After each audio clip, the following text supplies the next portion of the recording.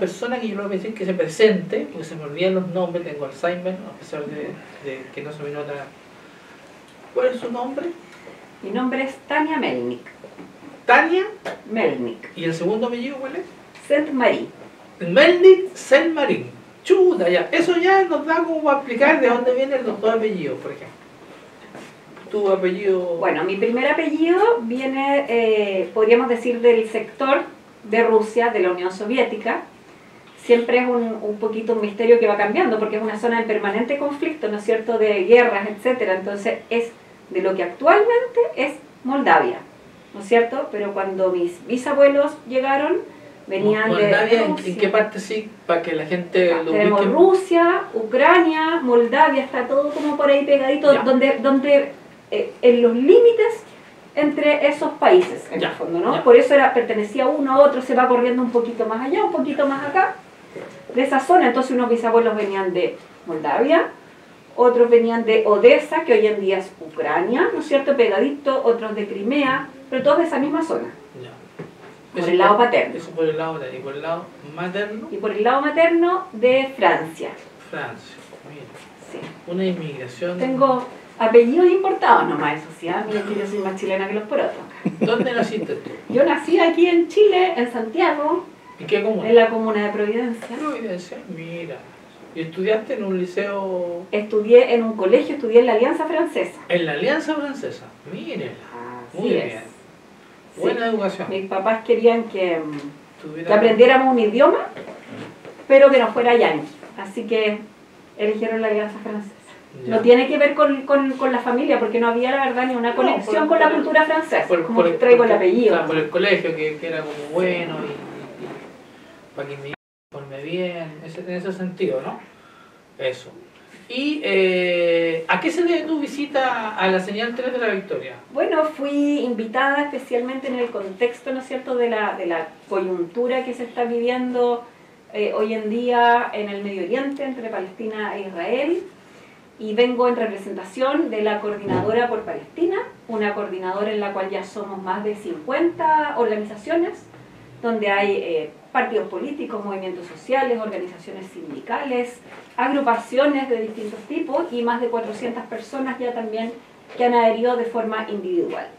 Y yo a la vez eh, adherí, por una parte en lo personal, ¿no es cierto?, pero también como parte de mi agrupación, que somos eh, judíos sionistas contra la ocupación y el apartheid. Vamos más lento, más lento, porque esto es, ya, ya quedamos bien con el Chodesa, Crimea, entonces ahora esto, tú estás en un, en una- un movimiento pro-Palestina o Palestina, ¿sí? pero tú perteneces a una organización que es Judíos antisionistas judíos antisionistas, ¿ya? contra la ocupación y el apartheid. Contra la ocupación y el apartheid, ¿ya? Eso nos va a dar un tiempo suficiente para poder comprenderlo, ¿ya? Para que nos puedas explicar, Ok. ¿ya? Tú eres judía entonces. Sí, yo tengo orígenes judíos. Ya, perfecto. Y, pero además eres antisionista. Además, soy Explícanos antisionista. eso. A ver, sí, No- no- vamos a no explicar sé, porque... no sé cómo explicarlo en chileno eso. Sí, Sería muy difícil. tratemos de explicarlo, son términos a veces difíciles de Por eso, entender para- para y justamente audiencia- este tiempo y como se ha hablado tanto, ¿no es cierto?, de Palestina, de Israel, nos ha dado también eh, mayor visibilidad para poder ir explicando estas palabras, estos conceptos que pueden parecernos a veces tan lejanos, ¿no es cierto?, que todavía muy poquita gente conoce porque hay que meterse en el tema realmente estudiarlo, entonces, para que partamos por ahí ¿Ya? entender, ¿no es cierto?, que el sionismo es eh, un régimen político que eh, es el que practica, el que ejerce el, el gobierno de Israel hoy en día, el Estado de Israel, ¿no es cierto?, desde el momento en que decide establecerse como Estado y previamente, ¿no es cierto?, yo no soy ninguna experta aquí en política, yo lo voy a contar muy simplemente, ¿no es cierto?, cuando ellos eh, determinan y que dicen incluso que no fueron judíos propiamente tal los que partieron con esta idea, que son quienes determinan que los judíos tienen que tener un lugar en el mundo, un país en el mundo para ellos, ¿ya? Y comienzan a conformar esta, esta idea, ¿no es cierto?, hasta que finalmente eh, en el año 1947 la Organización de las Naciones Unidas determina que este país se va a establecer en los territorios que serían la Palestina histórica. Ahí te, ahí te- voy a hacer un punto seguido para que tomes una pausa. A ver, para que la gente logre entender. Antes del año 30 no existía Israel propiamente tal. Es una fabricación de la Organización de las Naciones Unidas, un pacto, un acuerdo que llegaron. Entonces es una es una es un estado ficticio, artificial, que se construye desde afuera para que, para que siga, ¿ya? Sí, mira, es dentro de lo que tú planteas, hay distintas versiones también de esto, ¿no? Muchas versiones distintas, porque por su parte, ¿no es cierto?, los israelíes sionistas que defienden que ellos sí deberían estar en este lugar del mundo, ¿no es cierto?, se van muchos, muchos años atrás, entonces dicen, no, es que Palestina nunca estuvo ahí, estaba eh, el imperio británico, que tenía colonizado, ¿no es cierto? Entonces no era Palestina. Es que no, antes estaba el imperio turco otomano y vamos retrocediendo, retrocediendo como 3.000 años atrás y dicen, Ya. es que... Pero para ayudarte, mira, para ayudarte, en el año Ya. 47, ¿quiénes eran los habitantes de ese territorio? Los palestinos, Los palestinos, ya, listo. Así es. el pueblo palestino. En Chile, en Chile va- vamos a, hacer, a chilenizar la conversación. Ya, En el año 47, los que habitaban ese territorio eran palestinos. Así es. Así no. Entonces, el que, el, el- el que araba la tierra, el que cosechaba, el que tenía, era un palestino. No había una comunidad judía ahí, predominantemente. No existía. A eso me refiero que es artificial. Así es. Y no, no solo no hay una comunidad judía, sino que es súper eh, brutal el tema de cómo llegan, porque todo esto se, or- se organiza en Europa, con sionistas que no eran judíos, ¿no es cierto? Y con judíos que van seleccionando los judíos que eran, podríamos decir, los más ricos, los más poderosos, y a ellos los van a llevar a este lugar especial, ¿no es cierto? Esta tierra prometida. Correcto. Los Roseville y toda esa, to- to- toda esa, eh, los magnates más importantes de la humanidad, no, no de, de ahora nomás. de- ya. Correcto. Entonces, ahí había palestinos y, y cómo, cómo llegan ahí los, eh, estos, eh, eh, porque son los judíos serían los inmigrantes ahí. Así es. La categoría sería, eh, eh, produce un proceso de inmigración, ¿cierto? Ingresan a ese lugar y van sacando a los palestinos, ¿no? Así es. Ya. Llega Israel, ¿no es cierto? O sea, perdón. Se empiezan a llegar algunos años antes también, ¿no es cierto? Pero ese año, el 47, es cuando se, se hace lo que se llama la partición de Palestina, ¿no es cierto? Con la resolución 181 de las Naciones Unidas, que justamente se hace en la fecha del día de hoy, 29 de noviembre, ¿no es cierto? Bien. Por eso hoy, en, hoy, este día, se conmemora el Día de Solidaridad con el pueblo palestino. Se establece esa fecha, ¿no es cierto?, que corresponde a eso.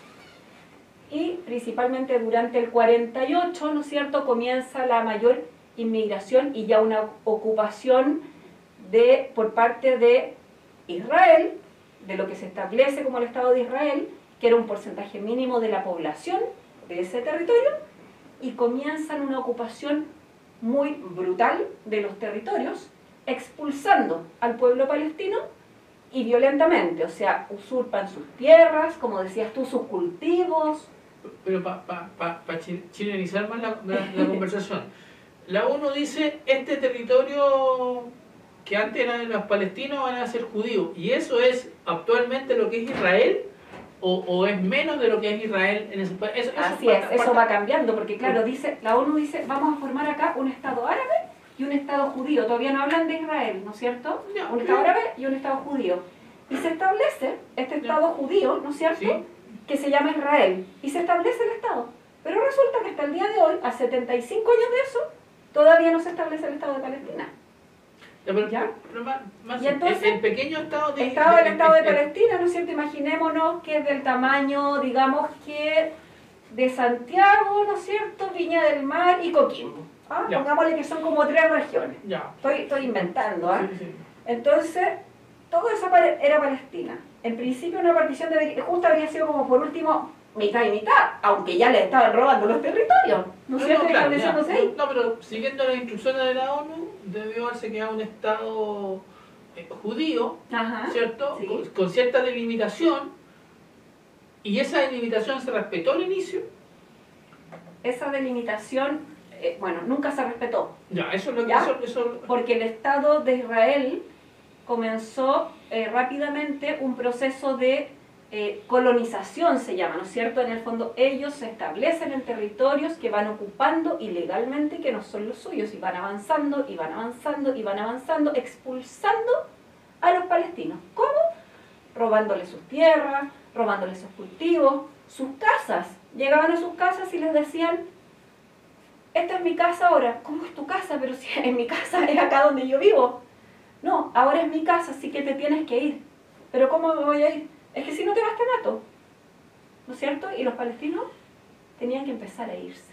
ya, y, eso, y eso ha sido del año 48, Eso comienza y 50, tiene distintas fechas, ¿no es cierto?, en que van ocurriendo los sucesos, hasta el 48, que es como el año que más se marca porque comienza este fenómeno. Después, como va avanzando esto y se va reduciendo cada vez más el territorio de Palestina, llegan nuevos acuerdos a partir de la guerra del 67 y se vuelven a establecer nuevas fronteras fronteras. para Palestina y para Israel, ¿no es cierto? Y después vuelve a achicarse y cada vez ya los tienen más reducidos. En principio se supone que el 78% del territorio iba a quedar para Israel y el 22% para Palestina. Imagínense eso, o sea, eso ya era tremendamente injusto, digamos, Claro. la población que había de, de Israel judía era mínima, ¿ya?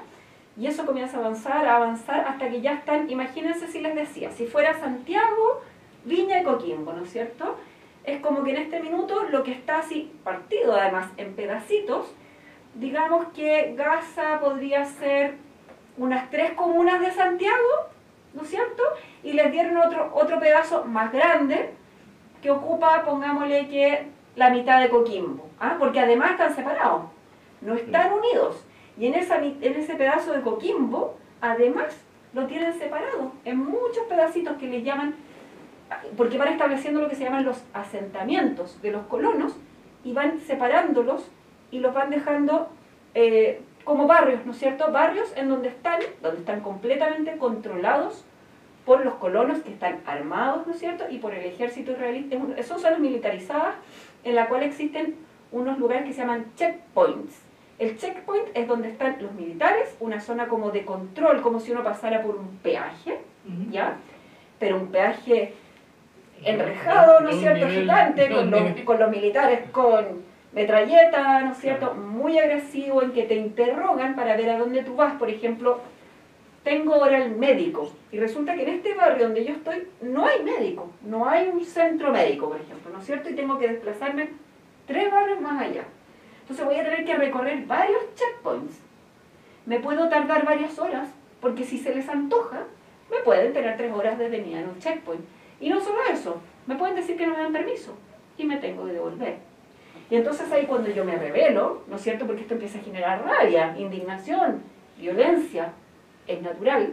Si yo me revelo, bueno, ahí empiezan, ¿no es cierto?, las situaciones de mayor violencia por parte de las Fuerzas Armadas israelíes, que perfectamente, bastando eso, declaran una detención administrativa, que les llaman, ¿no es cierto?, me meten preso, no tengo derecho a juicio, no recibo una condena y puedo estar 20 años en una cárcel sin una condena. ¿No es cierto? O sea, ese es el nivel de lo que sucede. un hecho acumulativo en el tiempo, Esto se va acumulando y pa- cada vez, digamos, va para empeorando, ¿no es cierto? avanzar en el tiempo y llegar a la situación actual. Pero déjame incluir un factor entre Ya. medio de esa situación actual. Di- Digamos. Como esto va avanzando, ¿no es cierto? Se produce, ya estaba esta separación, ¿no es cierto?, de los territorios. Cisjordania y, Y se produce un fenómeno Gaza. que se llama apartheid, que Ya. es lo que sucedía en Sudáfrica también, por eso se usa el mismo nombre, que guarda relación directa con el racismo, en que, ¿no es cierto?, los negros eran de otra clase, ¿no es cierto?, que los blancos. Tenían distintos derechos. No hay igualdad de derechos al punto de que ni siquiera pueden estar juntos, compartir un mismo lugar, ¿no es cierto? Están en sus lugares separados y, por ejemplo, si quieres desplazarte en una carretera para llegar a un lugar que tienes que ir pasando además por los checkpoints, hay una carretera para los palestinos y hay una carretera para los israelíes. Entonces imaginémonos que la carretera para los israelíes debe ser como las autopistas, ¿no? La costanera norte, ¿ah? Vespucio, entonces vamos rápido, impecable, ¿no es cierto? Funciona. Y la otra debe ser como la caletera que va por el lado de la carretera, ¿no es cierto? Con hoyo, se cruzan los animales, no sé, con menos Sí, seguridad que las además se las van rompiendo, estos bulldozers, estas máquinas que tiran. Claro. Bueno, y así con un montón de cosas, ¿no? No tienen derecho, no tienen los mismos derechos frente a la justicia. Ellos son juzgados por la, no son por las mismas cortes de justicia, ellos son juzgados por la, por la justicia militar, como les decía, muchas veces sin derecho a defensa, sin condenas, y así en un montón de cosas. No solo eso, y situaciones distintas también en lo que sería la Cisjordania, que es este sector que les decía más grande, ¿no es cierto?, que ocuparía como la mitad de Coquimbo, Gaza, que es más chiquitito, que se le llama una cárcel a cielo abierto. ¿Por qué? Porque Gaza además está rodeada por un muro de 8 metros de altura, del cual no puedes salir hacia ningún lado. No pueden pasar a Gaza, pero tampoco pueden desplazarse desde Gaza hacia el otro lado. O sea, los israelíes tampoco pueden entrar a Gaza. ¿Ya? Porque para ellos en Gaza prácticamente están todos los terroristas. O sea, todos los palestinos que viven de ese lado son calificados como terroristas. Y en Gaza tienen mucho peores condiciones de vida, ¿no es cierto? O sea, desde el agua, ¿no es cierto? Les controlan si tienen o no tienen internet, bueno, hoy en día peor, ya nos vamos a ir a la situación de hoy, ¿no es cierto? Si tienen agua, si el agua está contaminada o no está contaminada, si cuánta agua les queremos dar, si les queremos cortar la luz, no tienen derecho a cosas, por ejemplo, en Gaza tú no encuentras chocolate, no encuentras papitas fritas, no encuentras café, no tienen derecho, por llamarlo de una forma como a los más mínimos placeres de la vida, ¿no? De Ya. disfrutar, del goce, de sentirse un ser humano, Un super 8, un super 8 Nada. común y, co- común y corriente. Nada, Ni un chocopanda. nada, Nada nada. ¿Cómo? Lleguemos a la situación actual, igual nos podemos retroceder, pero pa- pa- porque hoy día lo que tenemos es eh, Netanyahu por un lado, ¿cierto? El primer ministro israelita, y por otro lado Hamas y todo este otro grupo. Al-Fatah, todo- es como viene, por eso digo, igual es como, no es fácil explicar la situación actual tampoco. Es bien compleja. Entonces, para que nos puedas contar desde el punto de vista, eh, como tú dices que es una judía no sionista, y, te- y tienes a Netanyahu que es todo lo contrario, el sionismo en su máxima expresión, para que nos cuente... Ya, me voy de nuevo a ese punto. Sí, por. ¿Ya? Porque, por ejemplo, explicarte que es distinto ser no sionista que ser antisionista. ¿ya? Como que hay ahí varias categorías en, en ese sentido. Entonces, los antisionistas podríamos decir que somos más rechazados por lo que serían los judíos sionistas. Los judíos sionistas, ¿no es cierto?, son los que defienden que Israel tiene el derecho a existir, a existir como está delimitado y justifican en el fondo que ellos siempre van a ser atacados, perseguidos y por lo tanto tienen que defenderse de ello. Y todo lo que tienen alrededor son bárbaros, ¿ok? Son seres humanos de segunda categoría, ¿ya? Ellos hablan de animales, por lo tanto ven los animales como otra categoría por lo demás inferior también al ser humano. Hablan de bestias, mira, hablan con unos calificativos espantosos para referirse a estos seres humanos que no, que no se merecen la vida, que no se merecen su respeto, que no se merecen derechos, etc. Y ellos buscan una con- constante expansión y lo que quieren es acabar, en el fondo, con el pueblo palestino. Ahora, vienen un montón de justificativos con discursos que usan para decir por qué esto. Entonces algunos dicen, no, esta es una guerra religiosa entre los musulmanes y los judíos. No, señores. En ese lugar del mundo vivían cristianos, musulmanes, judíos, ateos, en perfecta convivencia, hasta que comienza este proceso que instala el sionismo, ¿no es cierto?, desde hace 75 años. Y bueno, previamente también, de algún modo, pero para concentrarnos ahí. Eh, entonces, no es un conflicto religioso, no es una guerra tampoco, porque hay un Estado que está atentando, por llamarlo de una forma, contra un pueblo. Por lo tanto, tiene mucho más poder, tiene fuerzas armadas, tiene los recursos naturales, administra el territorio. ¿No es cierto? Por eso se habla de la importancia de no caer en decir guerra, sino que están colonizando por una parte, o sea, ocupando todos estos territorios para desplazar al pueblo palestino y están cometiendo un genocidio porque están matando, exterminando al pueblo palestino. Entonces los que nos declaramos antisionistas, ¿qué es lo que somos? Somos los que estamos en contra de las políticas del Estado de Israel, ¿no es cierto? Que busca todo esto que ya planteé por una parte, y también cuestionamos la existencia del Estado de Israel, ¿no es cierto? Que tú hablabas hace un momento de que como una figura de un Estado ficticio, ¿no es cierto? Porque es un Estado que se crea a partir de una resolución de las Naciones Unidas, ¿no es cierto? Y que determina que se va a instalar ahí porque habían otros lugares del mundo donde era posible instalarlo. Y deciden instalarse ahí, ¿no es cierto?, en la Palestina histórica, ocupando estos territorios. Se, retira el imperio británico. Y, claro, y buscando expulsar, ¿no es cierto?, a otro pueblo. Entonces, nuestra visión en el fondo también es la de respetar la soberanía de los pueblos, la autodeterminación de los pueblos, ¿no es cierto?, eh, el valor de los derechos humanos, la igualdad de justicia, en fin, ¿no? Entonces, de intentar encontrar una solución que por cierto depende en principio de ellos. Nosotros podemos elucubrar cuáles podrían ser ciertas soluciones, ¿no es cierto? Oiga, yo prefiero que hayan dos estados, dicen algunos. No, yo prefiero que haya un estado. Pero nosotros opinamos desde fuera. Son ellos los que tienen que trabajar en lo que se llama su autodeterminación, ¿no es cierto? Que son las decisiones del propio pueblo respecto de cómo organizarse.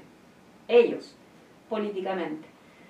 Em, desde ese lugar a Palestina no se le ha permitido ellos decidir, sino que todo lo administra, como decía hace un rato, el Estado de Israel, incluso sus recursos. Entonces, aquí hay un punto que es importante también decir, en Gaza, justo frente a las costas de Gaza, existen yacimientos de gas que son de los más grandes del mundo y que no han sido explotados. Mm. Como Israel decide cómo administra este territorio, no le ha permitido a Gaza administrar sus bienes naturales comunes que le permitirían tener un desarrollo económico. Entonces ellos viven en la permanente pobreza con todo lo que además les impide, ¿no es cierto?, este como bloqueo que tienen. Pero hay muchos intereses en estos yacimientos, que no solo son de Israel, sino que del mundo árabe y de otros también, ¿ya? Está Estados Unidos que está involucrado en estas zonas, y en fin, nos podemos ir en un tema internacional bastante grande, pero no olvidar que en el fondo está ese interés económico importante. Pero, es, pero es un botón interesante. Mira, yo te voy a agregar algunas cosas porque tú me puedas corregir o, estar de acuerdo o en desacuerdo. Primero, el, el sionismo que tú hablas es un, una postura y el sionismo de Netanyahu es la ultraderecha en su máxima expresión. Eh, sería aquí en Chile como los republicanos más extremistas. Claro, y más, digamos. Más hoy en día se les está comparando a los nazis. No, no, correcto, no, no, sí, de acuerdo, pero lo, quiero llevar a, lo quiero llevar a, nuestro contexto Chile, de, Chile. Eh, entonces, el sionismo que representa Netanyahu, eh, además en Israel existe una población laica, una población de posiciones de centro, inclusive de izquierda, eh, que en esta coyuntura también ha sido, a partir de este conflicto, ha permitido a Netanyahu eh, reprimir también a los sectores internos israelitas que son más progresistas. ¿ah? Eh, se me olvida en este minuto el, nombre del competidor de Netanyahu, que no es el aliado que aparece ahora, sino el, ya me voy a acordar, que es una, un personaje de centro izquierda. Entonces, esta situación ayuda a Netanyahu a crear un, este conflicto de guerra, esta colonización que tú dices, pero además le permite eh, impedir que la... Porque, recuerda, antes del conflicto, Netanyahu estaba siendo juzgado, ¿cierto? Y eso se nos olvida. Claro, o sea, e, estaba en un momento súper complejo acusado de corrupción estaba y de hechos muy graves. De corrupción y el líder de la oposición, no recuerdo su, su, apellido en este momento, ya me voy a acordar, eh, lo tenía en jaque. Y esta guerra, aunque tú, aunque tú, aunque tú no, no, no quieres que, que, yo use esa categoría, pero la voy a usar, esta guerra ayuda a Netanyahu para neutralizar, porque además Netanyahu había movilizaciones sociales en contra de la reforma judicial que Netanyahu hizo, ¿cierto? Así es. Si tú esos dos elementos, antes del conflicto, estaban en la punta. Con el conflicto, Netanyahu logra, o sea, imagínate Podríamos que- decir que estaban como cuando nosotros vivimos el estallido social. Estaban Explota, en y estaban en ese momento en ese momento, cuando ocurre esto, Entonces, que viene perfecto, justo, justo, el curiosamente. ataque, justo el ataque Hamas lo, lo ayuda. Porque, eh, o sea, Porque como, como- déjame terminar, como el COVID salvó a Piñera, el COVID salvó a Piñera, jamás salvó a Netanyahu. ¿O no? Exactamente, exactamente. Ya, sí, y por supuesto ahí podemos entrar en todas las conspiraciones, ¿no? le abro la puerta para que pueda entrar. No, claro, es curioso por decirlo menos porque en el fondo, eh, además se dice que en el fondo él está intentando extender lo más posible esta situación, porque esta situación termina y se le va a sumar a lo que ya venía todas las acusaciones que tiene en este momento a nivel internacional en la Corte, corte Internacional, perdón, Corte Penal Internacional, sí, claro, ¿no es cierto? claro. Por eh, crímenes de guerra, por genocidio, etcétera, ¿no es cierto? Por todo lo que han hecho solamente en estas siete semanas más o menos Sí. en, en Gaza. Entonces se le viene negro a Netanyahu. O sea, este a. Netanyahu le conviene que jamás siga siendo jamás. Por ahora. Claro, ¿Ah? sí O sea, y no. mi- mirándolo- pero mirando- mira, ya. por- ¿por qué también? Porque la, la sociedad israelí es una sociedad cuya columna vertebral, podríamos decirle así, es el ejército. En Israel, desde los 13 años, todos deben hacer el servicio militar, ¿ya? No como acá. Todos. Te- te- te- Hombres no, y mujeres. Te corrijo. No todos. Bueno, Salvo ¿Qué te quienes. Salvo, Salvo, salvo quienes. salvo los judíos ortodoxos, que se les llama, que son los que son más conservadores en términos de la religión y por lo tanto a ellos la Torá, que es la, como la Biblia judía, ¿no es cierto?, les dice, les da ciertas indicaciones que en el fondo están, por llamarlo de una forma, porque no lo dicen así en Israel, en contra del sionismo. Y la y se les respeta a ellos, Y la oposición cívica pedía que ellos también fueran a hacer el servicio pero no se ha aceptado la objeción de conciencia. Es, es, es un tema Por eso te digo, Han habido la- casos muy puntuales, Ya. pero, pero te puedes ir hasta la cárcel por no querer hacer el servicio militar, ¿no? A menos que tengas condiciones o sea, muy La específicas. ultraderecha religiosa no hace el servicio militar. Pero la ultraderecha religiosa manda a todos a pelear. Exacto, carne de cañón. ¿Ah? El hijo de Netanyahu, sin ir más lejos, que debiera estar en este minuto, ¿no es cierto?, en la guerra, en el ejército, en el frente, vive en Miami, está muy tranquilo y está en edad de todos los que están en este minuto en el ejército. Tendría que estar ahí.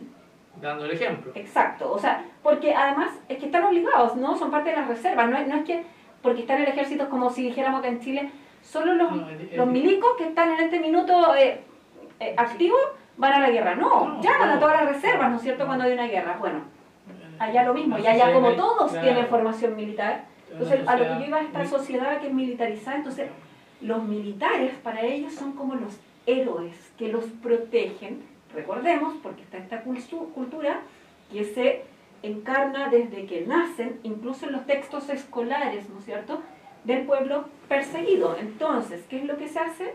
Que nosotros también reclamamos, lo- los judíos antisionistas, que es aprovecharse, por llamarlo de una forma, de, este- de, de de ser víctimas, de haber sido víctimas, ¿no es cierto?, del holocausto durante la persecución de los nazis en la, segun- en la época de la Segunda Guerra Mundial.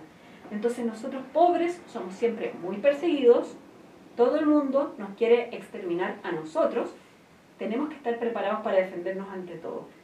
Y ese como lavado de cerebro se produce en toda la sociedad israelí desde, como les digo, desde muy pequeños, y no solo respecto de esto como de la persecución, que te la meten así como a fuego, sino que de lo que son estos ciudadanos de segunda categoría. O sea, tú ves te- textos escolares y se refieren a los palestinos como tales. Entonces, eso queda grabado, esa, esa violencia, ese odio hacia el otro, el me tengo que defender, porque nos vamos como, podríamos, si retrocedemos en el tiempo, a lo más salvaje, ¿no? Es como, ¿es tu vida o es la eso es mía? un discurso premoderno. Eso, eso se llama un discurso premoderno. Porque en la modernidad todos los seres somos seres humanos. Y en la premodernidad existen los civilizados y los salvajes. Sarmiento en. Argentina. Y ellos son los civilizados. Ellos son los Los civilizados. civilizados se consideran de Occidente, ¿no es Cuando cierto? los españoles Entonces, llegaron acá, los, los castellanos, mejor dicho, o los vascos, los que vinieron, encontraron a todos puros bárbaros. po. Puros Entonces, bárbaros. ellos, los bárbaros, no, no sabían leer, los bárbaros no, no tenían fe. Es como, Exacto. son como los palestinos. O tenían una fe distorsionada, que sería como los musulmanes. Pa- pa- pa- que los ponen así, ojo con eso, porque desde que, ¿se acuerdan cuando ocurrió? El 2001, el ataque a las Torres Gemelas en Estados Unidos, ¿no es cierto? Entonces Estados Unidos declara que comienza la guerra a nivel mundial contra el terrorismo. ¿Sí? Y el terrorismo, ¿dónde lo empiezan a poner como imagen, ¿no es cierto? Como símbolo en los musulmanes. Los musulmanes, el mundo árabe, ¿no es cierto? Y esos son asociados a terroristas, son peligrosos. ¿Ya? Y entonces ahí tenemos Al Qaeda, ¿no es cierto? Tenemos ISIS y en este caso ponen a Hamas en la misma categoría. Entonces todos los musulmanes son muy peligrosos, tenemos que cuidarnos de ellos. ¿No es cierto? Entonces acá también los musulmanes, porque ojo, no todos los palestinos son musulmanes, muchos son cristianos también. Entonces, una- claro. eh, pero son musulmanes, son peligrosos, son bárbaros y jamás muestran ni nos enseñan a nosotros qué valores tiene la religión del Islam. ¿Ya? Que tiene valores universales muy valiosos, muy bonitos también, ¿no? Pero solo nos meten esto, esto de que son peligrosos, son terroristas, son capaces de dar la vida por defender a su Dios y matar a otros para ellos obligarnos a todos transformarnos en islamistas. ¿ya? Entonces esto es, esto es un, un trabajo como que viene haciéndose por los medios de comunicación, ¿no es cierto?, por la propaganda política, para todos ir metiéndonos en el cerebro estas cosas, ¿no es cierto?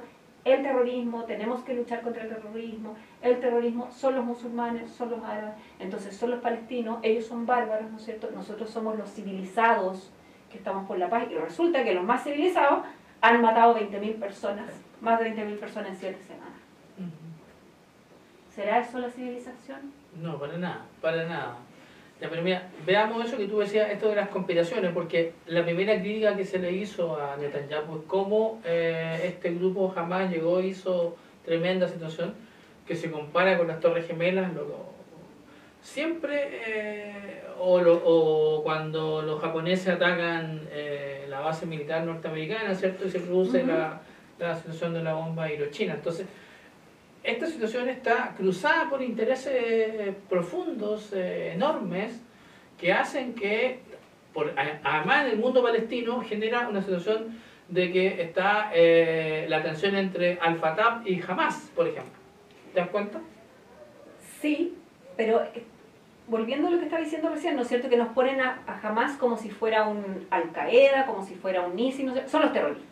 Y hablamos de Hamas, Hamas, Hamas, porque ya llevan años trabajando en convencernos que Hamas son los terroristas.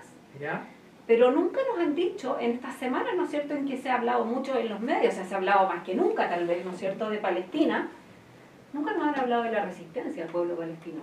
Y resulta que la resistencia del pueblo palestino está compuesta por 14 facciones distintas, Sí. que tienen a la vez sus propios movimientos, ¿no es cierto?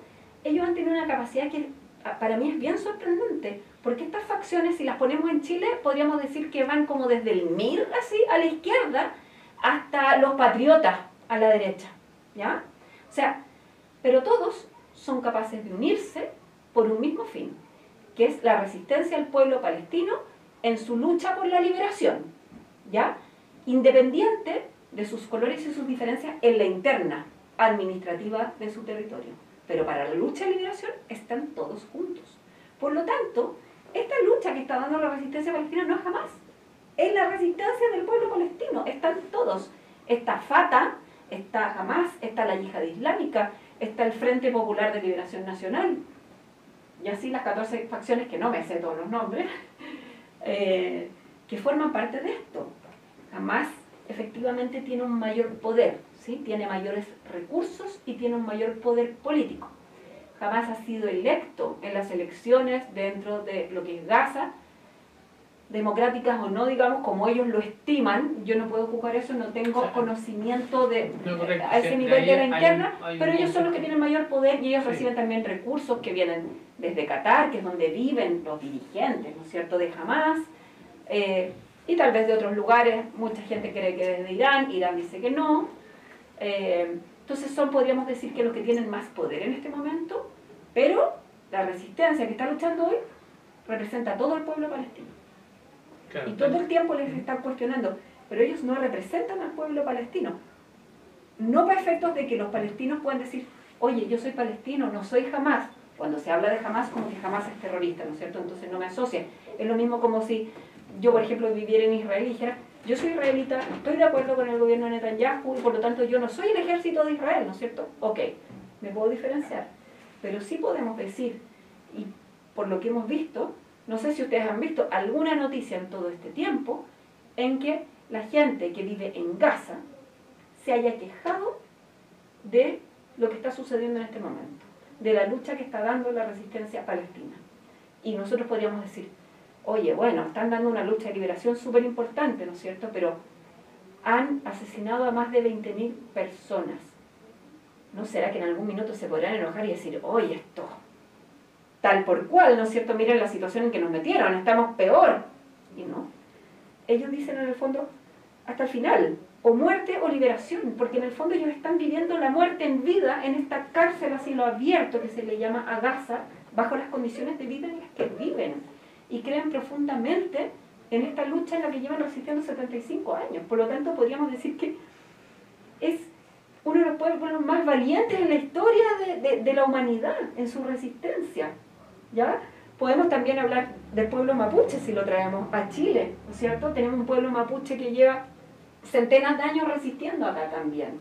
¿sí? Y cuando tú me decías cómo comparamos tal vez a, a esta ultraderecha eh, israelí eh, que, gobierna, podríamos decir el pinochetismo, ¿no es cierto? El pinochetismo que quiere acabar con otras clases, ¿ah? además de estas razas indígenas, estos indios bárbaros, ¿no es cierto? Pero que en el fondo nos afecta, nosotros no somos de ellos, queremos eliminarlos, ¿ya?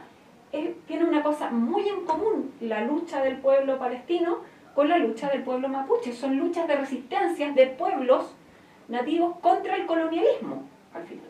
¿No es cierto? Luchas de liberación, de, también de lucha por tus propios territorios, que son en donde habitas y en donde te nutre la tierra también, de lo que tú cultivas y en donde está tu cultura, en donde está tu lenguaje, en donde está tu religión, en el caso de los religiosos, ¿no es cierto? Es todo lo que son ellos. Claro, esta es la, categoría de la autoridad palestina, que está conformada por todas estas 14 agrupaciones que tú decías. No, no, no, confusión esa es la resistencia del pueblo palestino. que está, podríamos decir, en Gaza, aunque también algunos en Cisjordania. Pero la autoridad palestina es otra. La autoridad palestina es el gobierno que se establece a partir de los acuerdos que se establecen con las Naciones Unidas que gobierna en el otro lado, este donde estaba Coquimbo, ¿no es cierto? Que es Cisjordania. Ahí está la autoridad palestina que gobierna. Pero ¿qué es lo que hace esta autoridad palestina? No es representativa del pueblo palestino. Esta es una entidad que establece las Naciones Unidas, comandada por Israel y por Estados Unidos, que lo que está haciendo es administrar el régimen sionista de Israel en Cisjordania, pero que no cuenta con una representatividad o con una aprobación del pueblo. aterrizarlo. La embajadora de Palestina acá representa a la autoridad palestina. Así es. ¿Cierto? Y, es lo que tú acabas de decir. Correcto. ¿Al-Fatah es parte de eso o no? No, no, mira, no, puedo entrar en, más detalles de eso porque no tengo tantos conocimientos, digamos, pero también hay una división interna en este minuto en el lado de Cisjordania en donde podríamos decir que había un poquito una mayor quietud, ellos están permanentemente siendo asediados por el Estado de Israel, ¿no es cierto? Y tienen todo este tema que yo les contaba de los checkpoints, de que están los asentamientos de colonos, de que están divididos en zonas, no pueden circular libremente, etcétera pero también hay distintos partidos políticos y Fatah está, eh, Fatah está de un lado y del otro, pero hay otros movimientos también. Y en este momento están en un momento de sublevación popular que está creciendo, especialmente con lo que está sucediendo ahora, y está, está álgido, digamos, está en una situación que puede ser en cualquier minuto. Y hace unas semanas le hicieron un atentado a Mahmoud Abbas, que es el presidente de la Autoridad Palestina, de lo cual no se ha hablado en los medios. A eso me refiero de la, de la... Porque hoy día lo que tú tienes es una tal como tú dices, un levantamiento que, que, de resistencia en la franja de Gaza, pero que además tiene que ver con esta parte de Cisjordania, que, que no ha estado tan activa en ese sentido y que tiene que ver con la capacidad de los pueblos, el pueblo palestino y de sus organizaciones de, ante estos ataques israelitas, de reaccionar y por lo tanto la complejidad se puede aumentar, puede ir más allá de la franja de Gaza. Así es, lo que pasa es que yo tengo la impresión, como te digo, yo no, no puedo andar mucho en, ese tema porque no tengo eh, profundo conocimiento, pero de que la resistencia está mucho más organizada en Gaza. no hacia en Cisjordania, y en Gaza está Hamas, no hacia en Cisjordania. Pero en los momentos de lo que está ocurriendo es muy probable que eso se, entrecru se entrecruce, ¿no es cierto?, y que la resistencia comience a fortalecerse en Cisjordania y que tengan algún apoyo de Hamas u otro tipo de recursos o formación, no sé, al respecto, ¿no es cierto?, para desarrollar y fortalecer esa resistencia y que haya un levantamiento que dificulte la situación en Israel. Entonces, por eso, mientras todos estamos muy ocupados hablando de Gaza, por cierto, porque es terrible lo que está sucediendo, resulta que en Cisjordania todos los días hay 200, 300, 500 personas a las que secuestran, a las que apresan, ¿no es cierto? Hay 200, 300 muertos por semana. Claro, no son 20.000 como en Gaza, entonces ya casi es, es, bien loco, pero es como que ya no nos empata si son cientos nomás, ¿no? no son miles. No nos muestran las imágenes de los bombardeos de los hospitales, ¿no es cierto?, de las guaguas muertas, ensangrentadas, pero esto está sucediendo todos los días en Cisjordania, entonces no tenemos que sacar los ojos de ahí porque se está poniendo cada vez peor. Y resulta que Israel se justifica con que está atacando Gaza porque tienen que exterminar a Hamas, está en Gaza. Para exterminar a Hamas han matado a más de 20.000 personas. ¿Y en Cisjordania no está Hamas? ¿Qué es lo que están haciendo? ¿Qué justifica lo que están haciendo? No es justificable. Porque lo que viene después es Cisjordania, para los israelitas, ¿cierto? Para los sionistas. Así es, sin ir más lejos, ayer o antes de ayer una parte de Cisjordania que podríamos decir, no sé cómo llamarle, si decir, tal vez es donde hay mayor resistencia, ¿ya? donde permanentemente hay mayor conflicto y asedio de, de los militares, mm. que se llama Jenin, lo declararon zona militar cerrada. No, sé lo que significa eso todavía, pero como que yo dije que lo van a convertir en otro Gaza, claro, no, sabemos, está prohibido ingresar a Jenin. Lo van a encapsular, como se dice militarmente. Claro, pues, pues eso te, ponía eso para entender que este es un conflicto que yo creo que va a sobrepasar la franja de Gaza, que va a generar eh, ciertos raventones sociales en Cisjordania, y si se genera eso, eh, tenemos un conflicto eh, de larga data. Entonces, cuando tú decías a Netanyahu le, le, conviene que este conflicto se alargue, claro, por eso lo de Cisjordania, por eso esos raventones ahí y esos apresamientos que tú dices, porque el, el en la medida en que el conflicto se alargue, tiene más vida Netanyahu. Sí, pero se le está acabando la vida a Netanyahu. ¿Por qué? Ayer, los, eh, él gobierna con una coalición, ¿ok? Y hay partidos que están aún más a la derecha que él. Bueno, los de ese partido que está aún más a la derecha que ayer, le dijeron que si él negociaba otra tregua, ¿no es cierto? Esta tregua, hubo una tregua, una tregua, significa que disminuyen la cantidad de asesinatos, ¿ah? pero, no, es, no, no, es una tregua de paz, no es una tregua humanitaria, le llaman tampoco una tregua humanitaria, eso son intercambio, discursos de palabras mentirosas. El intercambio pero bueno, el intercambio, y esta tregua, ¿no es cierto?, dura cuatro días, se logró alargar dos días, o sea, era viernes, sábado, domingo, lunes, martes, miércoles. Se nos acaba hoy día, o sea, ya mañana, en la mañana, que va a ser más o menos en la mitad de nuestra noche, entre hoy y mañana, comienza la guerra de nuevo. Israel dijo que la va a seguir. Y entonces estos de más ultraderecha de su coalición ya le advirtieron que si cedían más plazo, ellos se salían de la coalición. Y por lo tanto la oposición de Netanyahu se agranda. Y ya está con mucho cuestionamiento, porque está con muchas denuncias de diversos países, ¿no es cierto?, del mundo, en la Corte Penal Internacional. Entonces es muy probable, creo yo, que Netanyahu caiga antes de que este conflicto, ¿no es cierto? Que, que esta, podríamos llamar esta nueva como operación, ¿no es cierto?, de, de Israel, eh, termine. Esto puede ser algo bastante largo. Entonces, tú hace un rato hablabas, por ejemplo, de que habían sectores más progresistas, sectores de izquierda. La verdad es que la izquierda en Israel es... Esta izquierda como la de Chile. Es ¿ah? como, lo más izquierda podrá ser Renovación Nacional, ponte tú, ¿ah? la DC, son todos sionistas, dicen, o, se declaran no sionistas, no antisionistas. Allá ser antisionista, o sea, yo creo que es muy difícil. ¿Ya? Primero por el lavado de cerebro que tienen, y segundo porque prácticamente te meten preso. Hay agrupaciones más radicales que eso. Eh, sí, pero, pero están absolutamente, eh, bueno, se declaran ilegales, no, pueden funcionar, no, pueden reunirse, no pueden comunicar, Tienen todo cooptado, tienen... tienen Recuerda que mañana, ¿cuándo empieza la ley de toma a ser vigente en Chile?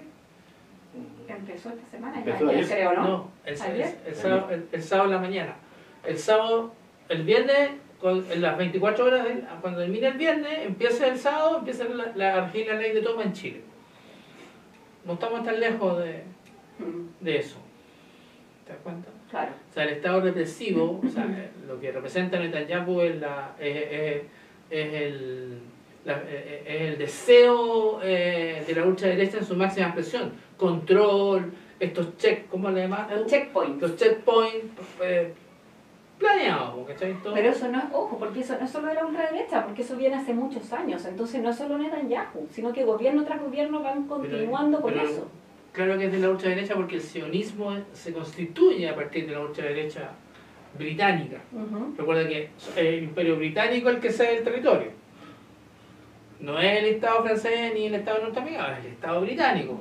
Y ahí está Rothschild, que es el judío sionista que, que financia además la, la, creación de, del Estado judío, o que posteriormente se va a llamar Estado de Israel. Bueno, para nuestros televidentes eh, no les vamos a decir qué va a pasar con Netanyahu porque lo vamos a ver en otra conversación que podemos tener más adelante contigo, un par de semanas más, para ver si, si renuncia. Decir un una palabra que quisiera aclarar cuando hablamos de lo que era sionista, ¿no es cierto?, y lo que era antisionista, porque hay un juego en el lenguaje en el cual tienen que tener mucho cuidado, porque hay mucha manipulación en este momento que viene por parte del sionismo del gobierno de Israel. ¿Qué es lo que hacen? Ellos ante cualquier crítica hacia las prácticas eh, crueles, digamos, ¿no es cierto?, del Estado de Israel, ellos dicen es antisemita. Si tú criticas, eres antisemita. ¿Qué es ser antisemita? Para ellos es ser antijudío. Ojo, los semitas podrían ser también los palestinos, si hablamos de orígenes. Los palestinos también son semitas. Los judíos de ese sector son semitas. Los judíos que llegaron a vivir ahí como inmigrantes y desde Europa no son semitas. ¿Ya? Entonces, primero, ese término también es bien engañoso, porque el que deberíamos usar si estamos hablando de que estamos en contra de los judíos es la judeofobia, ¿ya? Pero ellos juegan con eso, entonces hablan de antisemitismo. Si tú te opones al Estado de Israel, si tú eres de oposición, o sea, si incluso nosotros hoy día fueran, yo soy de oposición al gobierno de Boric, entonces yo soy anti, no sé, me podrían decir que soy anti-mapuche, por ejemplo, ¿no? Entonces en este caso soy antisemita. Y los judíos, que nos declaramos antisionistas, ¿ya?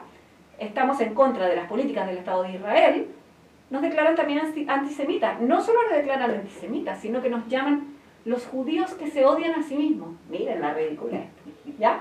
Entonces, ojo con eso, porque ¿qué es lo que están haciendo? Están jugando con una campaña muy brutal alrededor de todo el mundo y que cualquiera que critica a Israel es antisemita. Y el antisemitismo está prohibido en muchos países del mundo. Y eso se está expandiendo porque el fascismo está avanzando en el mundo. En Argentina, sin ir más lejos, tenemos una persona en este minuto que la eh, quieren enjuiciar por críticas hacia el Estado de Israel como antisemita. ¿Ya? En Europa, bueno, en muchos países está absolutamente prohibido cualquier consigna que pueda acercarse, que se interprete como antisemitismo. Y esto va avanzando. Entonces no podemos permitir que eso coarte la libertad de expresión. Hace una semana estaba acá Roger Waters, del grupo de Pink Floyd, que vino a dar unos conciertos, que es antisionista, que siempre ha sido pro-Palestina, ha sido un activista por los derechos humanos a lo largo de toda su carrera, y eh, querían censurar eh, lo que él podía decir o no decir, mostrar o no mostrar en las imágenes en su concierto. ¿ya? Entonces, estar muy atentos a lo que se va a estar acusando permanentemente de antisemitismo porque viene una campaña muy fuerte para prohibirlo. Mañana había una actividad en la Universidad de Chile, en la Facultad de Salud. Un conversatorio muy interesante que iba a hablar del derecho a la salud en Palestina, con un médico con experiencia en Gaza y con otras personas con otros conocimientos sobre Medio Oriente, en fin.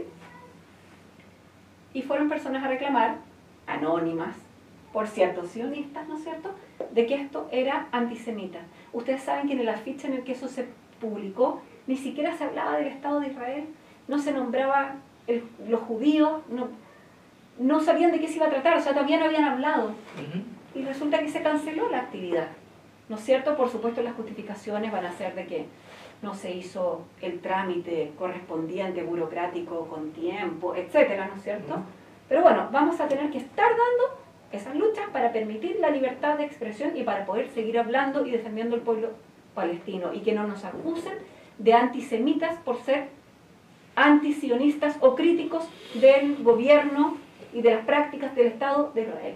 Eso era lo que quería aclarar, que porque va a haber mucho juego de manipulación comunicacional con eso. Pero Y- puedes, y venir, entonces- puedes venir otras veces, Ah, sí. así que no te... Pero no te- entonces no usan a los judíos, porque ¿qué es lo que dicen?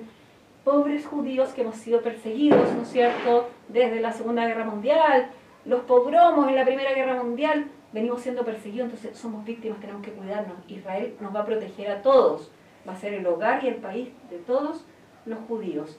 Entonces, ¿qué decimos los judíos? Que quizás lo han escuchado ya algunos en algunos medios. Hay una consigna que es bien conocida que se dice no en nuestro nombre, porque no queremos permitir que se justifiquen desde ese victimismo y de la historia que sufrieron los judíos que efectivamente fueron perseguidos y de los cuales ya varios han hablado que fueron que estuvieron en campos de concentración y ellos dicen no podemos permitir que esto ahora lo estén haciendo quienes se dicen judíos entonces no en nuestro nombre tampoco entonces esto qué es lo que va a producir va a producir mayor antisemitismo como le llaman ellos o judeofobia mayor odio hacia los judíos porque asocian todos el Estado de Israel a los judíos y mayor islamofobia también que guarda relación con el odio hacia los musulmanes Total, ¿qué logramos? Mayor odio, mayor violencia, ¿no es cierto? Ha- Hace unos días atrás le dispararon a tres cabros jóvenes por andar con su pañuelo palestino en Estados Unidos por el odio que se está creando. Es tan grave. Ya. Perdón Vamos a, tener, expresión. vamos a tener tiempo, no te preocupes. Si puede que vengas otra oportunidad, en otra oportunidad y podemos seguir hablando del tema. Sobre todo vamos a, estamos a invitarte cuando Netanyahu salga de primer ministro. Ahí vengo con Ahí tú serpentina. vengas con serpentina, Pero va a asumir eh, uno de la ultraderecha, más de la ultra, ultra. Sí, no ya, pero ahí, ahí vemos lo que pasa, ¿ya? En fin. Ha sido un gusto. Despidámonos. Muchas gracias, muchas gracias por la invitación y feliz de volver aquí a conversar con Señal 3 de la Victoria. Listo. Mucho gusto. Estamos conversando con los, con los que luchan. Aquí estamos.